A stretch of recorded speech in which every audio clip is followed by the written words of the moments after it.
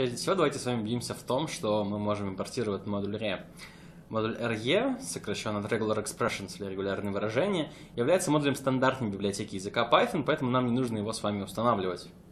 И главными героями здесь будут являться четыре функции, которые находятся в модуле RE. Это функция match, функция search, функция findAll и функция sub.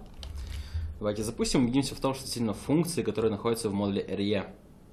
Что же делают эти функции? Функция match берет наш шаблон, берет нашу строку и проверяет, подходит ли данная строка под данный шаблон. Функция search берет нашу строку и находит первую подстроку, которая подходит под наш шаблон. Функция findAll будет находить все подстроки нашей строки, которые подходят под данный шаблон. А функция sub позволит нам заменить все вхождения подстрок, которые подходят под наш шаблон, чем-нибудь другим. Собственно, регулярное выражение и будет описывать наш шаблон, поэтому часто шаблон не будут называть регулярным выражением и наоборот. Внутри нашего шаблона могут быть обычные символы, под которые будут подходить обычные символы. То есть мы знаем, что строка ABC будет подходить под шаблон строки ABC. А также у нас будут мета-символы, которыми мы сможем описывать что-нибудь интересное. Давайте запустим такой простой пример. Создадим шаблон строки ABC, то есть это такая сырая строка, которая содержит в себе обычный символ A, B и C. Затем мы пишем строку, которую мы хотим проверить, подходит ли она под шаблон. Match Object это результат функции match нашего шаблона и нашей строки. И давайте выведем на экран Match Object. Когда мы запустим данный код, мы убедимся в том, что нам вернулся Match Object. Э, у него есть атрибут match, который содержит в себе вхождение нашего шаблона ABC внутрь нашей строки ABC.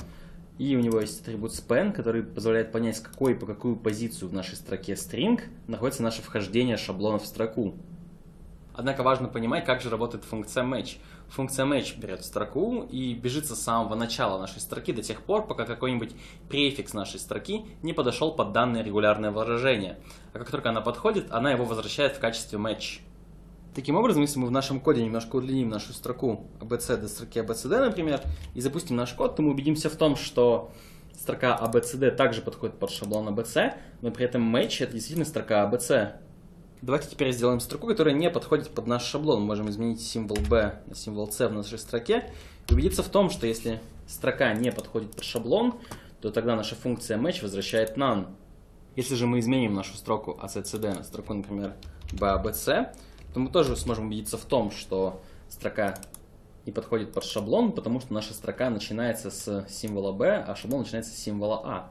Однако, если мы хотим найти вхождение нашего шаблона в строку, можем использовать функцию search, запустить данный код убедиться в том, что мы нашли вхождение строки ABC э, в нашу строку, и при этом она начинается с первой позиции до четвертой, то есть вот они, те числа, которые вернулись нам внутри спэна, это те же самые числа, которые мы бы использовали при слайсинге.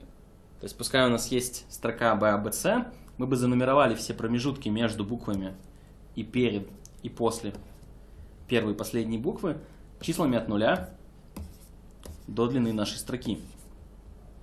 Затем, если бы нам вернулся span, например, 1.4, мы бы поняли, что это те символы, которые находятся между данным промежутком и данным промежутком. То есть в нашем случае это символы ABC. То же самое при слайсинге, если наша строка st равна нашей строке babc, то st1.4 это ровно наша строка abc. Теперь давайте попробуем с вами изучить первую пару метасимволов. Первая пара метасимволов, конечно же, будут квадратные скобки, в которых мы можем указать то множество символов, которые под шаблон на самом деле подходят. Давайте теперь с помощью квадратных скобок зададим какое-нибудь множество символов, которые подходят под шаблон. Например, вторым символом нашей строки ABC на самом деле может являться не только символ B. Давайте здесь укажем A, B и C. Таким образом, наша строка ABC будет подходить под шаблон, наша строка AAC также будет подходить под шаблон, и наша строка ACC также будет подходить под шаблон. Таким образом, мы очень просто расширили список строк, который подходит под наш шаблон. Мы просто явно указали, что вторым символом нашей строки может являться как символ А, так символ Б, так и символ С. Таким образом, эти символы позволяют нам расширять то множество строк, которые подходят под наш шаблон. Давайте теперь рассмотрим, что же у нас делают функции findAll и sub внутри нашего модуля RE.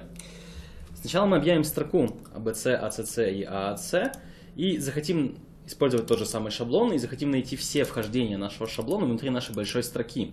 Затем вывести их на экран. А затем давайте предположим, что на самом деле ACC и AAC это вернее всего опечатки, и на самом деле нам нужно использовать строку ABC. Для этого мы будем использовать функцию sub и заменим все вхождения нашего шаблона на строку ABC внутри нашей строки.